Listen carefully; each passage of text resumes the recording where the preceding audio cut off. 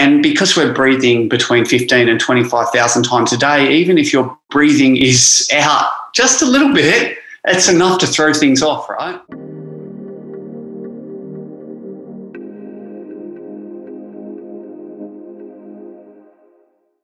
Deano, thank you so much for coming on the podcast. It is an absolute pleasure to have you here, mate. Alex, my uh, yeah, it's a pleasure to be here. It's a pleasure to chat with you, and um, you know, I love chatting health and wellness and happiness and all that stuff. Yeah, man, we're going to get into some of that today, which I'm really excited about. Um, take me back to we're going to talk a lot about breath today. We're going to talk a lot about maybe prana and chi and um, general health and wellness. Um, but in learning a bit more about you, it's become really clear that that, that the breath has been kind of intertwined into your life from a from an early age, and and certainly it was, played a big theme um, with the work that you've been doing as a, a Bondi lifeguard. How um how has how has the breath kind of been weaved into your life over the past however many years, and how much of a, an important role did that play in your work you were doing as a Bondi lifeguard? Yeah, it's uh, it's a good question. So I was hospitalised with asthma when I was nine, I believe, and I'm not sure if I was told or I or I worked it out intuitively, but I afterwards I just knew that there was a connection between uh, my breath and, and how I moved and how I felt. So this uh, this hospitalisation, and there was a couple of them. This kept me swimming, and and um, which led me on through to exercise. And um, although I was exercising anyway, it just sort of it locked me into it a little bit more, and potentially gave me a career as a lifeguard. Um, and for me, I always felt that I would need to swim to be able to do other sports. If, if I wasn't swimming, I used to struggle to run around the block. Whereas when I was going swimming training, I would w- win the cross country race at school. So it was, it was, night and day the difference between um, when I was swimming and when I wasn't. Uh, in my mid 20s, I discovered yoga um, simply because I could barely touch my knees, let alone my hamstrings, uh, let alone my uh, toes super tight hamstrings. And yeah, the, the, the breath of yoga really started to regulate um, regulate my breathing and started to compensate for, for some swimming that I um, and then I, that, that was when I sort of realized it was the power of the breath. Um, and you know, this when I'm rescuing people at the beach, they lose they lose their breath, they lose control. Um, it's a stress response, which I'm sure you well know. And and this to me it, it is very clear when people panic they get stressed and their breathing cha- changes and, it, and it's when they get into trouble.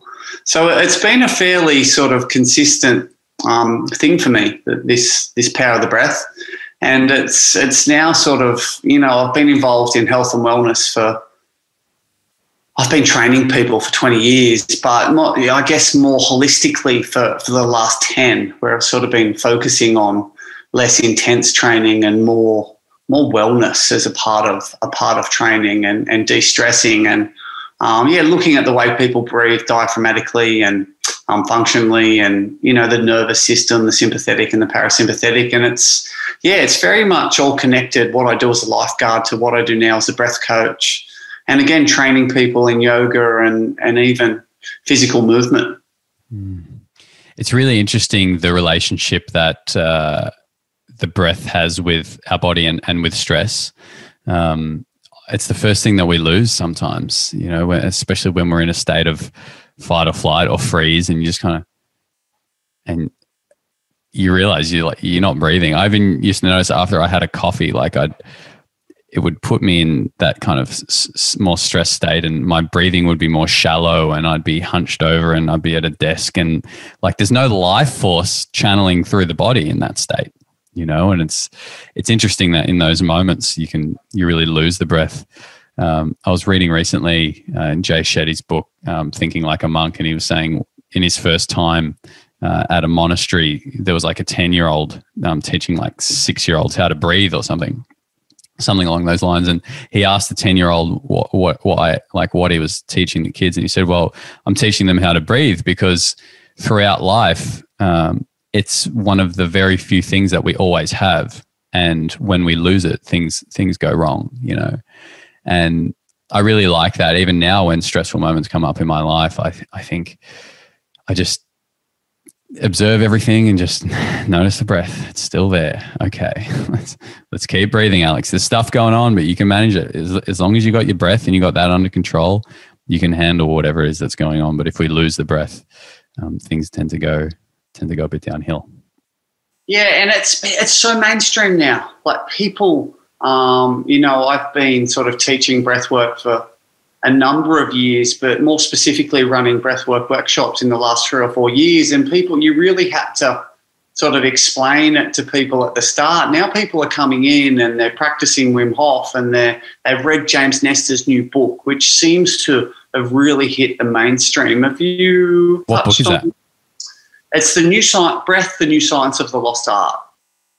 Um, so yeah, it seems huge. Like um, you know, obviously, I'm getting people that are interested in in breathing come and come to my courses. But yeah, it really seems people are sending it to me all the time, which is which is awesome too. But um, yeah, that's cool. Yeah, I mean it's important, right? I mean, how long can we last without breathing? Not very long. Minutes, right? Um, yeah, I think the world record's sort of ten to twelve minutes, um, and I think if they uh, use some um, substitute with oxygen as first, some some people are able to go 19 to 20 minutes without breathing, which is amazing. yeah. That just sounds like a lot of a lot of training. Um, you mentioned that you, you you were swimming and that was helping with your kind of cardiovascular performance. What, what is it about swimming that's so powerful in helping regulate the oxygen in the body and helping us with our fitness? So when people are running, they can. I don't know if people are listening or, or watching this, but uh, picture me running down on the spot and breathing as much as possible. But when you're swimming, it's sort of breathe and then it's one, two, three. So there's that regulation of the breath or that, that withholding or, or limiting and slowing down of the breath that is very powerful. And that's what yogis, chis, um, you know, um, Taoist monks, that's, that's the, one of the skills of life, being able to regulate and control breath. So being in the water, having your face in the water, just limits your ability to breathe. So um, it just happens naturally. Is it driving our body to just become more efficient because it has to? Yes. Um, I, uh, breath holding is a hormetic stress. Very similar. You, you would know much about hormetic stress from, from saunas. So breath holding is another hormetic stress in, in a controlled dose. The body responds um, beneficially to it. Um, the interesting thing about swimming, um, it is a mouth breathing exercise. Um, so for me, who ended up doing a significant amount of swimming, um, this possibly led to some dysfunctional breathing. Although it was helping regulate my breath, it was also mouth breathing is a dysfunctional style of breathing. So um, I'm working with swimmers to actually correct this at the moment. Mm, interesting. What is it about mouth breathing that creates dysfunction? Is it something to do with like the back pressure in the lungs or something along those lines? Yeah, so yeah, it's a common misconception. So carbon dioxide, which is a byproduct um, from, from on a cellular level, basically from oxygen, is um, is actually needed in the blood for the exchange of oxygen to happen on a cellular level. So we need need CO two there. It's called the Bohr effect. It was discovered in 1903 or 1904. So it's nothing new. And when you breathe through your mouth, you actually get lots of air in. You actually get more than you more than you need. Um, so breathing through the nose, we get less air in. Um, it filters. It's like a mask. It, it filters the air.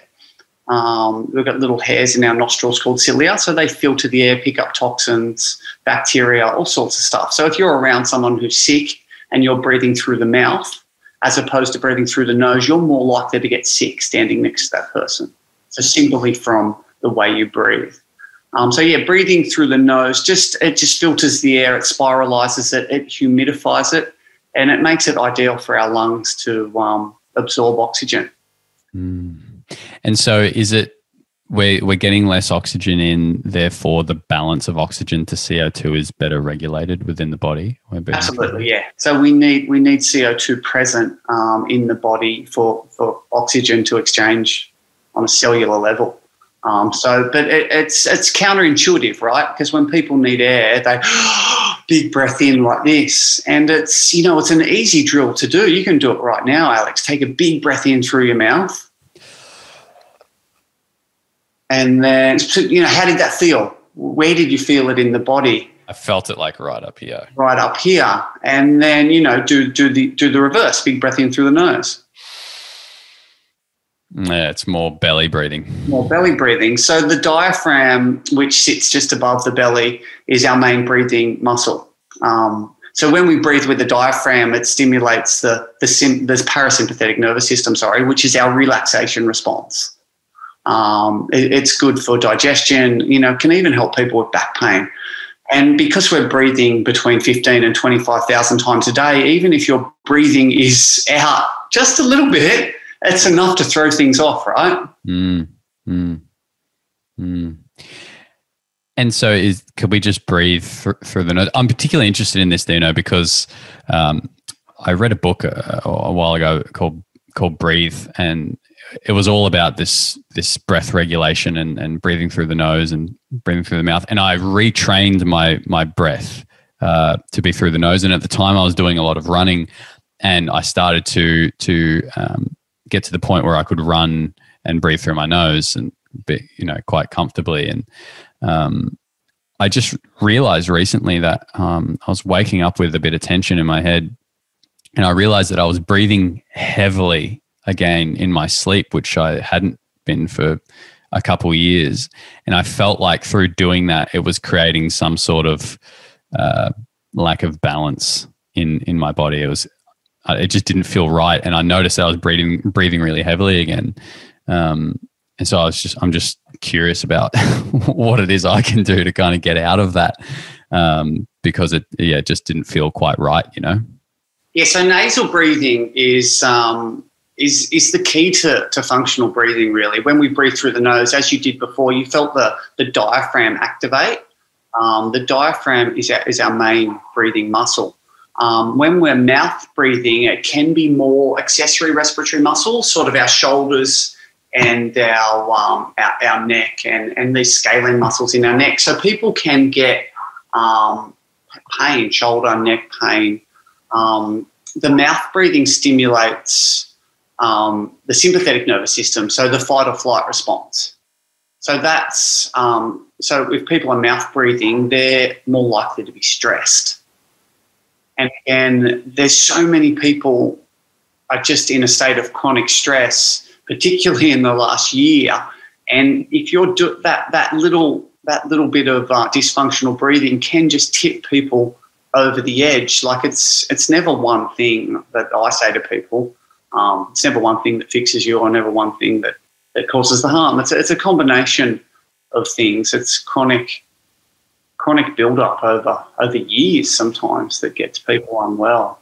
Mm. So yeah, trying to fix and improve every um, everything, and if you can improve your breathing, it's it's something we do all day, every day. Mm. Yeah, I, I like that. I mean, it's not always it's it's never one thing, right? I mean, if you reduce the stress in your life, it might also help with the quality of your breathing. But if you also focus on the quality of your breathing, it'll help you reduce the stress as well. Like there's multiple prongs. Bi-directional. Yeah. Is uh, is it as simple as just closing your mouth and breathing through your nose, or should we have our tongue touching the top of our mouth or anything like that? Yeah, absolutely. Tongue position is important, but yeah, closing the mouth is a really, really great start. Um, yeah, there's some techniques and uh, different things work for, for different people, and there's some you know different methods. Um, you know, the Wim Hof method that I that I teach and really got me passionate about breathing again is basically a dysfunctional breathing style. And again, I'll, I'll talk about the word hormetic stress, but we're bringing like a good stress onto the body, and that's an over breathing uh, method. So your your traditional sort of slow breathing monks and um, yogis and uh, even functional breathing coaches, to them seeing people go, it, can be a little bit frightening because they're they're training a dysfunctional breathing pattern, and um, you know some people just don't believe that's beneficial. So yeah, different things work for different people, but uh, the having getting people into breath awareness or health awareness through whatever method that may be is is beneficial. So just bringing some focus on the, the breathing and health is um, gets people gets people better. Mm. Um, I want to talk about Wim Hof method. We'll get there and, and talk about power of the breath. Um, but prior to getting there, um, what were some of the what were some of the more challenging moments you had as a uh, as a you know working uh, as a Bondi lifeguard, and what what were some of the yeah, I'm just curious because you, you would have seen some stuff, right? Yeah. I, I, wish I could remember everything that I've seen. um, fortunate, I had you know camera crews following me around for a number of years to capture and document um, some of the cool stuff. But yeah, it's um, it's some weird and wonderful things down there as, as a lifeguard. But you know, people out there, um, first responders, that you know, they, they sort of just see this stuff. Bondi being probably the busiest beach in Australia, mm. just you know, five k's from Sydney CBD. It just it's just has more people and just it has so many um, colours to it, like so many locals. There's surfers, beach runners, volleyballers, you know, jiu-jitsu, yoga. There's just everyone's down there and they want their little piece of Bondi and it's just these worlds colliding. And um, yeah, sometimes the weird and wonderful things happen from backpackers making love um, first thing in the morning on the beach to, I don't know, Paris Hilton, Snoop Dogg, um, you, you, name it. That everyone comes to Bondi these days. Mm, mm. Well, not anymore, but they used to. yeah. Um, yeah, that's interesting to think about actually. Is Bondi kind of quiet, like quiet at the moment, given the lack of tourism? Yeah, last year was quiet. Um, rescues were down. Um, you know, it was going, working through COVID as well. I worked on the beach for a period of time where there was no one there. It was just lifeguards just sitting there. Um, watching the water, twiddling our thumbs, um, chatting, uh, doing some exercise. um, what were some of the more common themes that you saw, like in terms of water incidents? You know, relating it back to breath. Like, obviously, there were like people that are close to drowning quite regularly. Were there other things in a similar kind of vein that came up often? Yeah, I guess you know when um, it becomes clear to a lifeguard that when people get stressed, they, they lose control, and that's when they get get into trouble. Um, so people people that they're they're in a they're in a rip basically, and and they need to they need to stay floating to to stay alive. And it's sort of a, a simple equation, but they intuitively they think they need to get back to land, which, which makes sense. But they expend all their energy trying to get back to land, and then they can no longer keep them afloat, keep themselves afloat. And this is where this is where people can die in some very. Um, it doesn't even look dangerous. Um, the, a, a, small rip or a small current can just be pulling them out to sea. And if they're not a strong swimmer, they're not going to be able to swim against that that ripple ripple current. So um, when when there's professional lifeguards there and the beach is well manned and and we, we can see those people, those rescues for us are, are pretty easy. You know, we can it, it generally happens in, in the same spots. They're in the rips or the currents, and we know where they are. We, we I've literally rescued five thousand people, so I know where the spots are that people are going to get into trouble, and it's yeah, you just sort of paddle out, put them on a board, and and you bring them in, and usually they're grateful, and and you just you see that they're they've lost control of their breathing. They're in that fight or flight response, and they're they're trying to save their life. Um, unfortunately, they're um, they're they're not going about it the right way. So yeah, education, um, and and what I do now, teaching people to breathe. Um, yeah, I, I, certainly give analogies and examples of being at the beach and, and trying to remain alive and quite often it's a little bit counterintuitive just to slow down and, and think about it and um, and make sure you survive. Mm. So in those moments, we should really just stay afloat and accept we're going to be pulled out to a place where we're uncomfortable, but we'll stay alive. Well, the, you know, there's some new science now where they're putting markers and, and, stuff in the water, and 90% of the time, a rip or a current will pull onto onto a sandbank. Right. So, um, yeah, people are panicking. They're trying to get to shore. They're trying to swim against the rip, and they're going nowhere. Whereas if they could stay afloat, they might end up and again, just quoting the science, 90% of the time they're going to end up on a sandbank. And that's generally where if there's some surfers nearby, they'll be they'll be on the sandbank or there's some swimmers. So yeah, we want people to stay afloat and uh, and call out for help. Mm, mm. Yeah. Again, I, I feel like you're just talking to me today because, like I was saying, I've just moved up near the beach. I've never lived near the beach, and I've started surfing, and all these things are like I'm learning so much at the moment. Um, getting in the ocean, as as you probably know, is so humbling. You know the power of Mother Nature. You're just well and truly out there. And I, when I started surfing, I was really as the brain always does, it tries to put things into boxes. And I was really trying to find the analogy between snowboarding and surfing, but they're just it's not a very strong analogy because when you're snowboarding, you can stop, right? And you even if you're in trouble, you can stop and you can kind of take everything in. When you're out in the surf and the sets are rolling in and you cop three waves on the head and then you cop another three on the head and you start to f- not freak out but get a little bit panicky, I guess.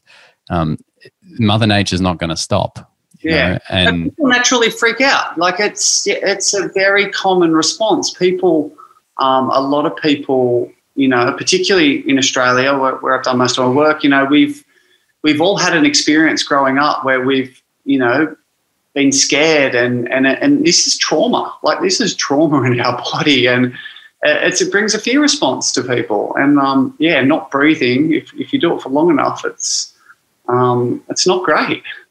Yeah, yeah, this is true.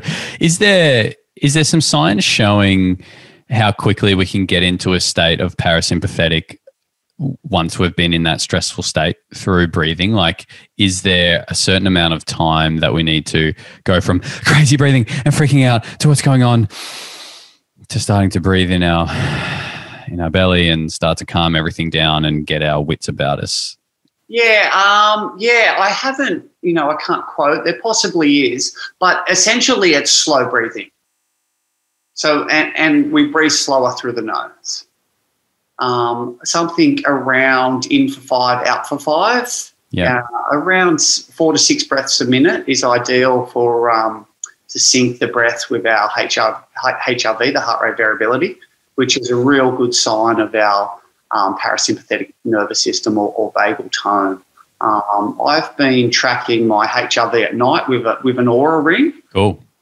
But I become far more interested in in sleep. Um, but yeah, looking for, for me with going forward with, with what I do, um, some some real time HRV um, with breathing will be um, possibly the, the, the next step. I sort of take or introduce with some of my courses. Mm. What um, what does the heart rate do during the Wim Hof method? Uh, uh, like, what's heart rate variability doing when we're doing that um, that quick breathing, like you were talking about before? Yeah, well, I'm not sure. I haven't. So the Oura Ring mainly tracks or, or tracks HRV at night, um, and you know I, I'm sort of at the moment, I, I started geeking out more on the sleep. Um, there's a there's a great book I listened to, Why We Sleep. I think it was Matthew Walker, and that was just brilliant. Yeah, he's incredible. Um, yeah. So, so that book was um, so more fascinating to me than, than the HRV stuff. So I'm still delving into the HRV, but quite simply, when we breathe in, our heart rate goes up ever, ever so slightly, and when we breathe out, our heart rate goes down. So every breath, there's there's this up and down. So if um, you know if you're trying to slow your heart rate down, what we what I tell people to breathe in for four seconds and out for six. And again, that gives us that sort of magic number of five to six breaths a minute where we can just control and, and slow that slow that nervous system down. And, and if you're stressed, it's, it's like a mini meditation, right? You get out of your head if you can just focus on your breath, maybe even lie down on your back. And if you touch your belly, it just gives you that little sense of biofeedback. So we're, we're maybe starting to feel the diaphragm and the, and the belly lift and the ribs expand and um, making sure we're not breathing with those accessory respiratory muscles around the neck. Mm-hmm. Um, what are you doing for sleep at the moment? You mentioned you're getting into that. I'm curious if you've got a. I feel like you would have a bit of a sleep routine going on, like. Uh, mate, it's you know, it's the, the sleep hygiene stuff is quite simple. Um, you know, trying to get to bed at a similar time every night, trying to get to bed at a reasonable time. Um, you know, it's it's a, a t- turning off our screens um, an hour or two to, before bed, and um, and just not eating too late or not drinking. I don't drink coffee. Um, I just naturally don't like it. It's it's not a health choice. Um, I remember as a kid eating tiramisu cake and just being very very disappointed. so yeah, I, have never liked coffee, but yeah, so it's just for me, it's just trying to go to bed much earlier than than I used to. So um, I work for myself. I used to have this habit of, um, you know, sort of doing stuff in the day and then trying to switch the laptop on if I had the kids, if the kids are at my place, and you know, you do a couple of hours of work from eight thirty to ten thirty. But it, yeah, it really just costs you um, efficiency and brain power the next day. So yeah, it's just trying to switch off. I, I don't really watch much TV um, anymore. I can't. Nothing on Netflix is really doing it for me. I've got to be really passionate about a, a TV show to to watch it anymore. I think Game of Thrones, I don't know if you're a Game of Thrones fan, but when I watched Game of Thrones, I, I just I really got deep into the show. and now if I watch something and I don't like it, I just turn it off. Um, which is, yeah, which means it's sort of difficult for me to, um, you know, it, it is it is nice. I understand why people want to watch TV and switch off, but um, yeah, I just I can't do that now unless it's a good show. Um, which which yeah, so I haven't watched. So yeah, I, I walk the dog at night and um, literally try to go to bed between eight thirty and nine o'clock, and this enables me to get plenty of sleep and, and maybe bounce out of bed sometimes at five o'clock. Sometimes I don't I don't make five o'clock, and usually I work at six. So it's nice just to wake up naturally, do some breathing exercises, and and start work at six. Mm. Yeah, I love that. Um, going to bed early and waking up with the sun is a beautiful thing. Um, I also agree. I think Game of Thrones ruined a lot of other TV shows for people. um, but yeah, no screens at night um, is super, super helpful. So, when did you start? There's phones and, you know, even your alarm, but yeah, trying to minimize it as much as we can, you know. Uh, I switch my Wi-Fi off at night as, as well, uh, minimising electromagnetic radiation. Um, I've got some diffusers in the house and some essential oils, which which I, I, love as well. But yeah, it's it's just all the little things, right? Doing your best, doing whatever you can uh, when you can. Mm. Yeah, I agree. And something I always I didn't mention, sorry, is um, for years I've been taping my mouth um, with a bit of mouth tape just from ear to hear, a little bit of non-adhesive. Yep. Um, so I was a dysfunctional breather, as, as I mentioned. I was an asthmatic. Um, you know, when I look back at my schooling, I had I had a learning. I was my, my sister diagnosed me with um, dyslexia after I left school, which was sort of no good. But yeah, I, I had learning difficulties. Um, you know, I had a respiratory disease. Um, yeah, I certainly didn't thrive at school. So um, yeah, breathing through my nose and, and starting to look at what I eat and, and how I move and all these things has really made a huge difference in my life in the last couple of years. Mm, mm. Were you breathing through your mouth a lot when you were sleeping? Yeah, I, I sort of mentioned that I, as swimming was my sport. In essence, I was a competitive swimmer. Um, I was training myself to breathe through my mouth. Now, why this was beneficial um, uh, regulating my breath, I think at night this was, um, you know, sort of just became a, a, bit of a go to for me. Um, yeah, so I d- I don't know if I was always doing it, but definitely my sleep apnea has um, has certainly improved, and you know I just feel my head is so much clearer. I literally feel like I've gotten smarter in the last five years. Um, I certainly haven't had any asthma um, since I started really delving into the breath. So it's it's certainly working for me. What what I've been doing. Mm, love it. When did you start to get into uh, the Wim Hof method, and how did you kind of develop that? Yeah, so he was Wim was coming across various platforms, and um, I think I heard him on Tim Ferriss, and so I was sort of into my alternative health stuff, which uh, it's sort of been growing this this health market or health scene um, exponentially. I think in the last five to ten years. Um, you know, I remember I was using stevia as a sweetener, and um, now McDonald's have it. Not McDonald's, that Coca Cola uses it sometimes, and um, you know things like grass fed meat, like that was they were terms. And again, you see McDonald's. So so like corporate businesses are catching up to these health things and trying to profit from them, which, which is which is sad, but um, you know it is showing that that people are evolving. So yeah um, yeah, he was just coming across various angles, and I just um, I did some breathing with someone one day, and then I just bought his ten week online course, and it really just re-energized me.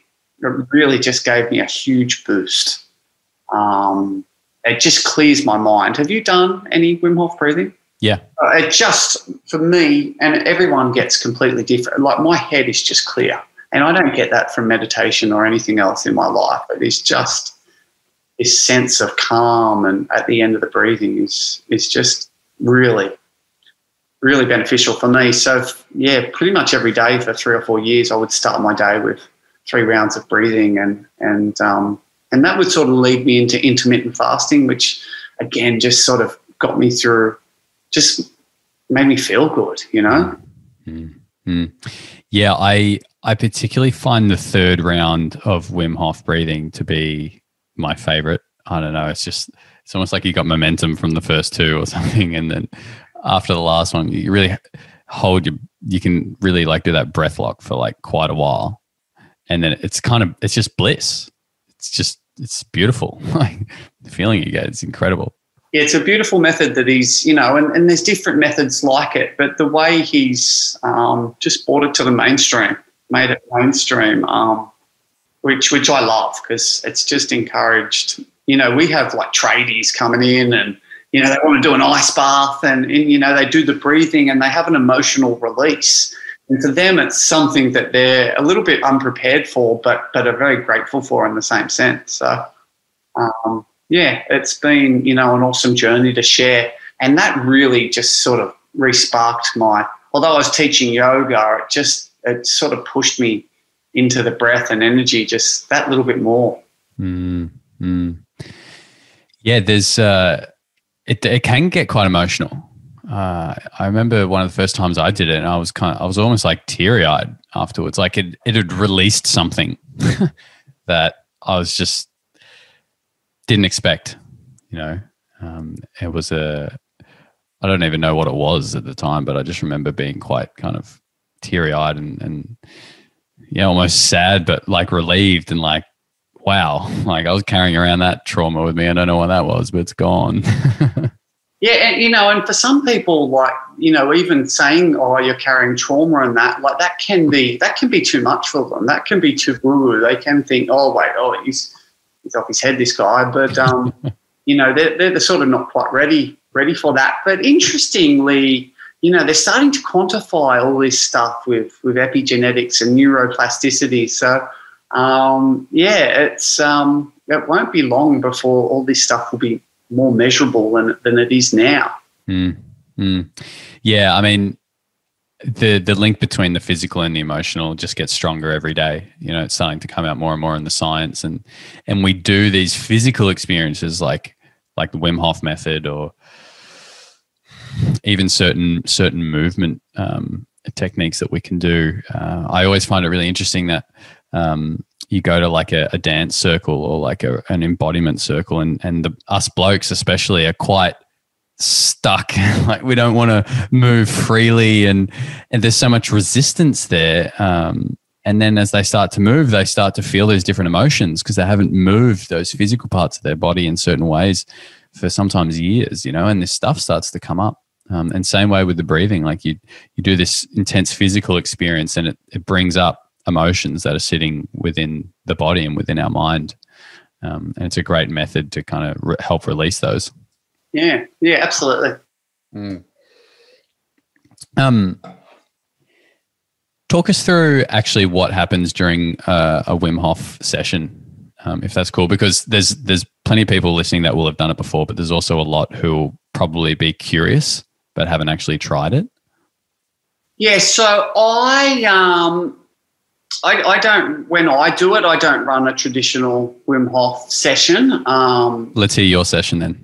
Yeah, so for, for I, I was teaching. So so the Wim Hof people would like me to run five hour workshops, and I just felt it was a little bit too long, um, particularly in Sydney where I am. Like people just they just didn't have five hours to commit to it. So um, yeah, I, I, end up teaching a, a three hour course, and I start with with functional breathing because whilst people are coming to do Wim Hof and have that experience, and you know, some people are coming for the ice bath, um, other people are coming for the breathing, uh, and the the functional breathing or the nasal breathing is is just so important, uh, even if they don't realise it. So yeah, I, I, I, try and work out what what people want when that when they come, and and then we do some sort of functional breathing, and and even that little drill that I did with you before, where I got you to take a big breath and just start to um, feel their own bodies and just connect with their own bodies and and start to get them to feel what it what it feels like to breathe slowly and to breathe through the nose and just understand what they're doing when they're breathing through the mouth. So it's sort of quite simple and quite practical. Um, and it's a nice sort of warm up pre pre pre sort of we get into the super ventilation that that I call it, also known as the, the Wim Hof method. Um, and then it's also explaining to them, you know, the science behind it all. That in, in essence, the Wim Hof method is a dysfunctional form of breathing and it is a hormetic stress on the body. And contrary to popular belief, you actually go hypoxic. The oxygen goes low in the body, and that's from breathing out too much CO2 and there's no exchange on a cellular level. So almost at the start at the start of the conversation, we were saying why is nose breathing beneficial? Because there's more CO2, there's more exchange on a cellular level. The Wim Hof is the opposite. Because we're we're blowing out all that CO2, there's there's no oxygen there to be exchanged. Mm. So that's part of the the bliss that you feel. You're actually going quite hypoxic. Um, yeah, the it's it's CO2 that gives us the inclination to breathe, not oxygen. So when we breathe that out, it's quite easy to hold your breath. Uh, okay, that makes and sense. And the more you do it, the easier it becomes because um, each time you hold your breath, your your spleen contracts and releases more oxygen uh, more red blood cells into the system. So it improves our oxygen carrying capacity. Mm, okay. So, so go through some Wim Hof method um, and then, you know, uh, encourage people to be open um, to experiences or seeing colors or, or tingles in the lips or the ears, maybe some, you know, some vibrations, just letting people know what might occur and that they're in a safe space and they'll be there. They may get hot, they may get cold. In my experience, guys tend are more likely to get hot and sweaty, and girls tend um, can be more likely to get cold. But but you know, for me, I sometimes get cold, sometimes get hot. It can work in different ways. And then sort of finishing with with the ice bath, and again explaining, um, linking it back to stress and stress response um, and telling someone that I'm literally putting them in a stress response. That's what the ice bath is, and then trying to control their breath through it. Mm. Does that make well, sense? Yeah, one hundred percent, one hundred percent. I'm I'm right there with you. I, I I love that about the ice bath because it's like okay, just replace ice bath with anything stressful in your life. Yeah, the process can be cutting you off in traffic, an email you don't want, seeing something on social media Um, yeah, there's so many things putting people into stress these days. Mm-hmm. And what's the typical kind of coaching when they're in the water? Is it just stay calm, keep breathing through your nose, chill out? Yeah, absolutely. So um, we want to get, we, we've talked a couple of times about slow breathing, getting back into that parasympathetic nervous system, slowing it down. So yeah, in and out through the nose. Um, you know, four to six breaths a minute. And, uh, you know, when we breathe through the mouth, people, their shoulders can hunch, their mouth can open, and there's a tendency for them to want to swear. so I tell them if they swear, that's a stress response. Whilst I'm all for swearing in everyday life, if, if people want to, um, swearing in the ice bath I consider a stress response. So it's it's no swearing in my ice bath, and I'm just trying to stay calm and and relaxed and, and knowing that you'll be okay. And in actual fact, it, it'll actually even be good for you.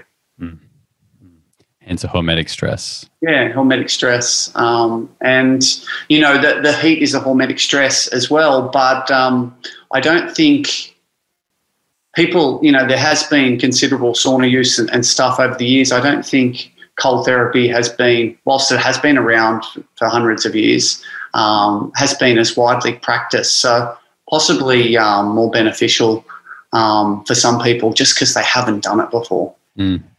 Yeah, it's definitely a different kind of hormetic stress, that's for sure. Um, I I find at the moment I'm actually enjoying the cold more than I ever have before. Um, whereas a couple years ago, I really wanted to just get hot all the time, just sweat all the time, which was convenient uh, running a sauna company. That was, well, my, uh, my preference has always been the heat. That's what attracted me to the Wim Hof method. In winter, I um, I have, I still, yeah, I have like colder hands, and I used to be embarrassed shaking people's hands because my circulation wasn't the best, and um, and I, I found out that this is literally trainable like when Wim Hof he, he broke the world record for a two hour ice bath, he can thermoregulate his body with his mind. so so that's what this guy has, has put on the map. He's famous for controlling his body on a on a completely different level to, to most of us even think is possible. Yeah, it's like um, he's like tapped into the autonomic nervous system or something like that. Yeah. Yeah, that, that's what put him on the map when they injected it. I think it was 2011. They injected him with with something like the flu, it's an, an endotoxin, and he was able to breathe it out. Um, yeah, pretty cool. How um is like is that able to be recreated? Like, are other people getting to that stage where they can do that? Yeah, so that so when he did it, they said, "Oh, you know, you're a freak. You hold world records. Um, you know, it's it's it's a once off." And he goes, "No, I'll be able to train other people to do it." Mm. And he took I think 12 or 18 guys up to, a, mount up to the mountain, which I climbed with him in Poland actually for four days. And they did the breathing exercises and cold therapy. And then they did a further six days at home. And then in a scientific setting, they were able to um, recreate what he was able to do. Wow. So on meta-analysis, they injected sort of maybe 10,000 people with this endotoxin, and everybody had got sort of headaches, nausea, um, yeah, and, and these people were, were able to um, replicate Wim's Wim's effects. Pretty cool stuff. Yeah, but very different to um, your typical meditation. You know, as I as I huff, huffed and puffed around before of the people that have done Wim Hof method, it's not it's not quite calm and relaxed. It's actually a form of dysfunctional breathing, bringing stress into the body. So, yeah, brilliant. How um how are people feeling after they come to one of your workshops? Uh, yeah, they feel like a million dollars. The, the breathing has an anti-inflammatory effect, as as does the ice bath. Um, they leave feeling more empowered and knowledgeable about their own health and breathing and sleep.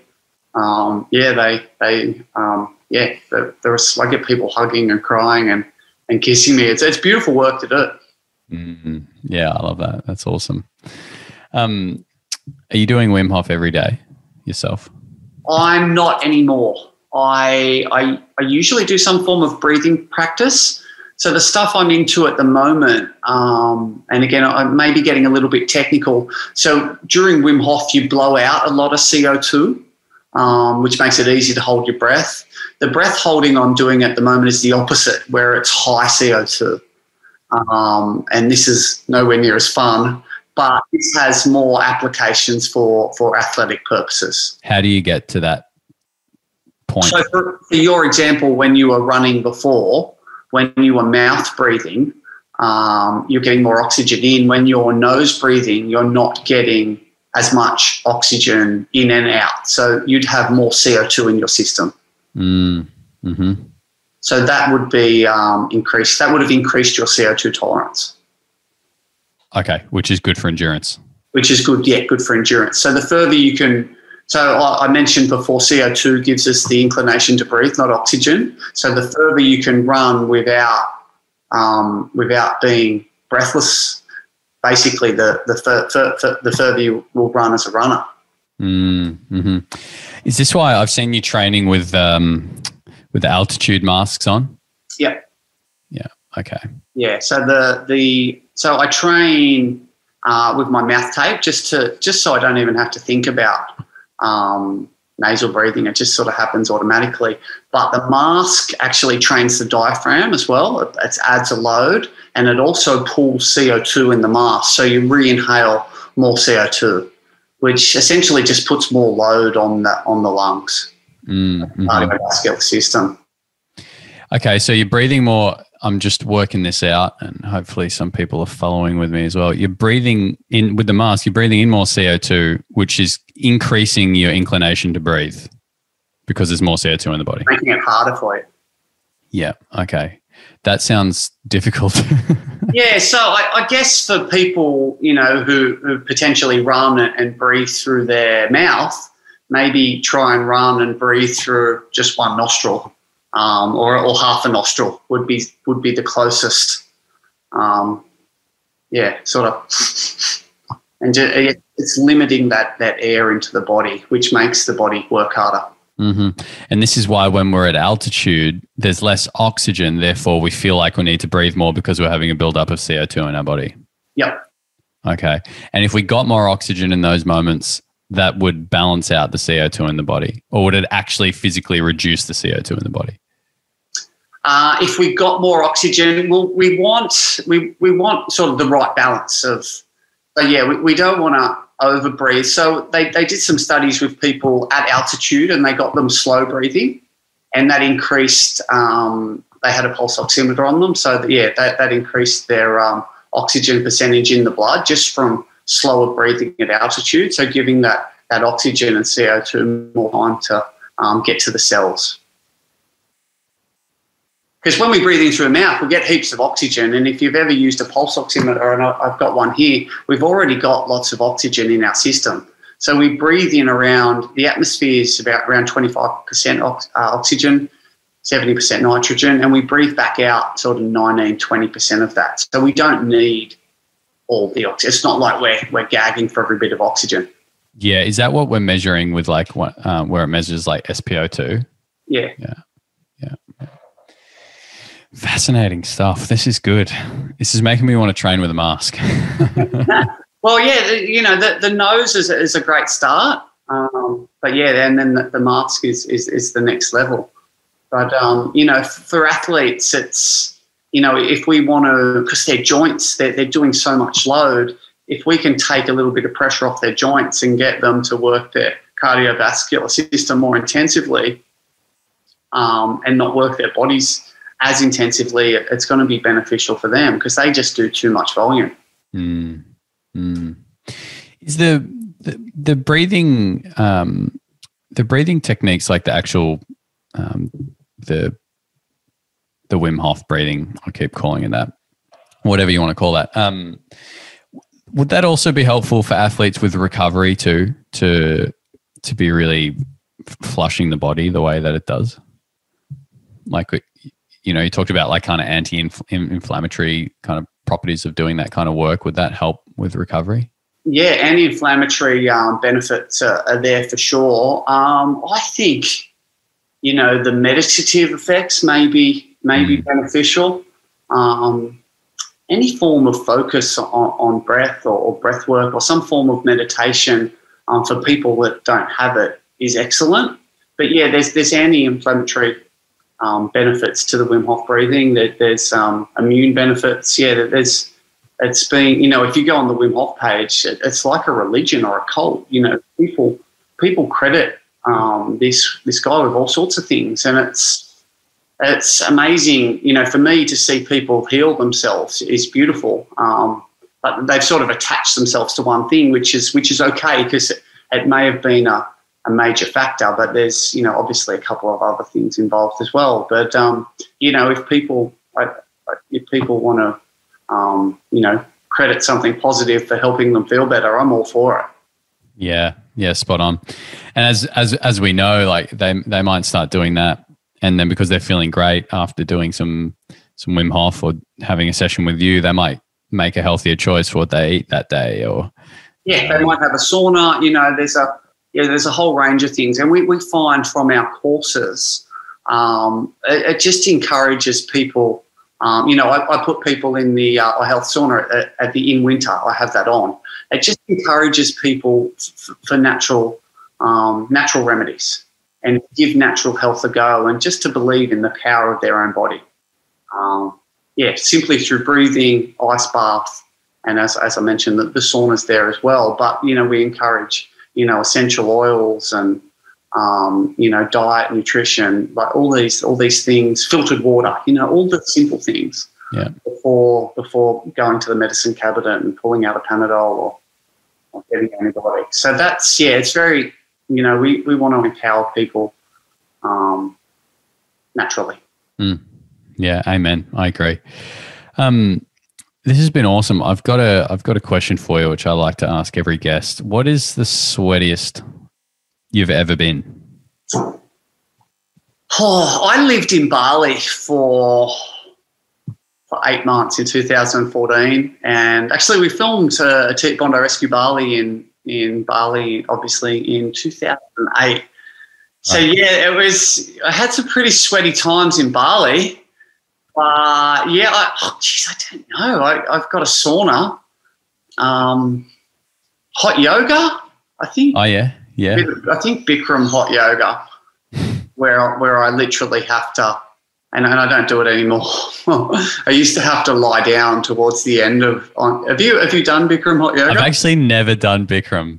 Yeah. So there's a 45. The first 45 minutes of it uh, uh is a standing sequence. Yeah and some days at the end of it, like I used to feel dizzy, and, I, and I'm not so sure or or you know promoting it or advocating it, but this is just I literally would be that hot, like I'd be standing up, going oh, and you'd have to sit down, right, which is humbling and, and um, at, at the same time. But yeah, Bikram yoga.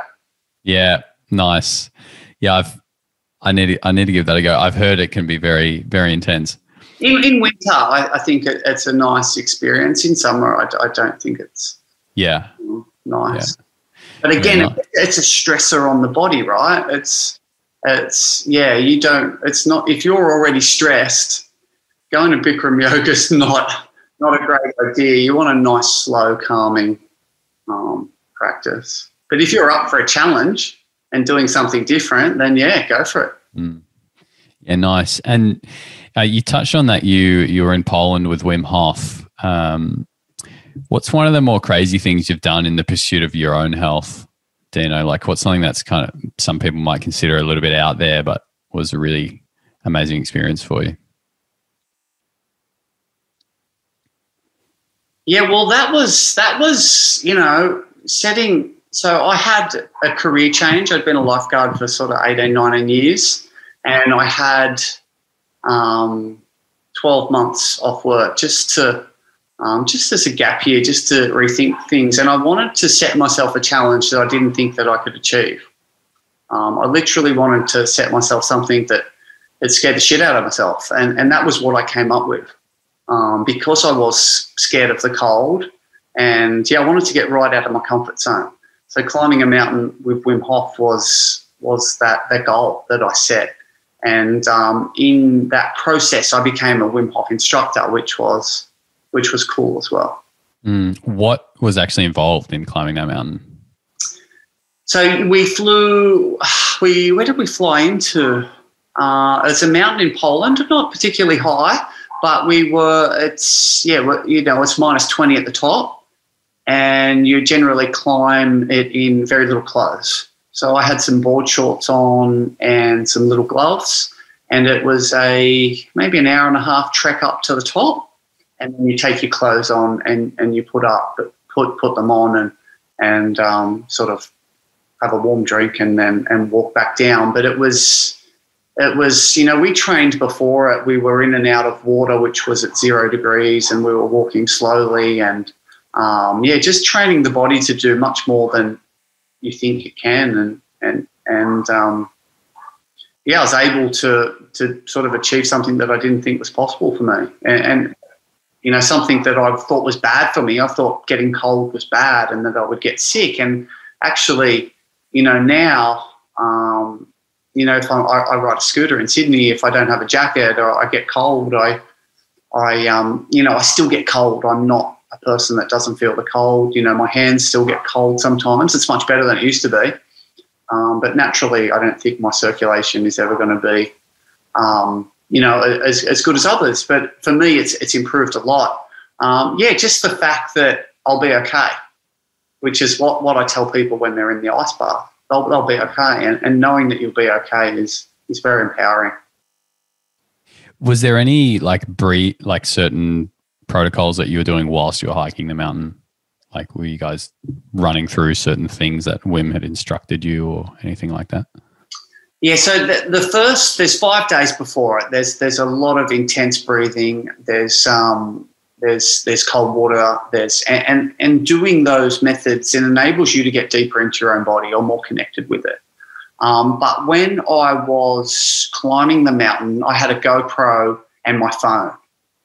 And as soon as I took focus off myself and my body and staying warm, um, I would I would start to get cold. So I would have to sort of stop stuffing around with my GoPro and my phone and taking selfies and, and doing all this stuff. And I was just focusing on on staying warm. There was almost like a it was like I was omming while I was walking. I was creating creating vibration but I was staying warm literally by by the focus. Yeah, and that awareness sounds like just like yeah, there's there's a sensation of cold, but that's fine. It's just a sensation. Sensation, yeah, and um, yeah, I, you know the way we the way we breathe can interpret the way we feel pain. So again, if we're mouth breathing, we're breathing fast. Um, we're more likely to, to feel pain. Whereas when we're slow breathing and in control and we're, we're not in that stress response, we're, we're less likely to, to feel that pain. So, yeah, it's just controlling it, um, knowing that I'll be okay, believing in myself and, and creating sort of energy and heat for my body. Mm. Love it. Um, if people want to find out more about you, or if people are in Sydney and want to come to one of your workshops, how can they get in touch? Yeah, so you can find me. If you, there's lots of ways to find me and contact me. I've, I've got a website, deanogladstone.com. Um, during COVID last year, we were running um, online breathing breathwork um, courses, five week online courses. And it was funny, it was something I didn't think that would work online because I really like to sort of be with people and, and, and touch people. But um, that they were really successful. So from we, we ran three five week online courses during sort of lockdown periods, and from that we created a, an online course. Um, so yeah, got an online course. So so that's half price at the moment. I think that's at thirty nine dollars. Um, and yeah, there's sort of functional breathing. Whilst I don't teach the Wim Hof method, I teach for people to understand about Wim Hof and other fast breathing techniques. So there's a couple of like Kapalabhati in, in yoga, for instance. Um, once you understand uh, sort of scientifically what's going on during Wim Hof, you, there is a, a, a similar sensation when you do Kapalabhati breathing. Um, yeah, so in uh, Instagram, Deano Gladstone or Power of the Breath. So that, that's what I call my breathwork workshops. Um, I think I'm on Facebook as well. Yeah, um, yeah, a couple of ways. If you Google Google me, I'll come up. I can just see a picture of you like pulling someone out of the water or something. Yeah, there'll be me floating around with no shirt on somewhere. Um, but yeah, it's it's been uh, it's been an awesome journey. You know, sort of from going from Bondi Rescue. You know, I've learned so much from from literally seeing people stressed and, and, and helping them and and saving their lives, or in some cases bringing them back to life. Um, to, to, where I am now, and it's it's these experiences in life that I, I think people really benefit from. Love it. It's been a pleasure having you on. We've gotten into some really good stuff, and um, you're a wealth of knowledge on the breath and on life. So thank you so much for coming on, mate. Very kind words. Very kind words, Alex. It's uh, mate, always good to chat, and um, and yeah, keep up your surfing. yeah, yeah, I will. I will. Awesome. Thanks, dude. See you, mate.